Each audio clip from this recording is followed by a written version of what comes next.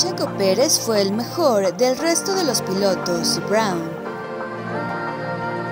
Sergio Pérez dio un paso al frente justo en el momento que Red Bull y su compañero Max Verstappen más lo necesitaban. El piloto mexicano lleva dos podios al hilo, dos terceros lugares en Turquía y Estados Unidos, y con ellos cuatro en su primera temporada con la escudería austriaca. Previo al podio en Estambul, Checo defendió en su carrera el cuarto puesto ante Lewis Hamilton, que a la postre terminó beneficiando a Verstappen en su lucha por el campeonato ante el británico de Mercedes, que ya solo le saca 23 puntos de diferencia al Toro Rojo.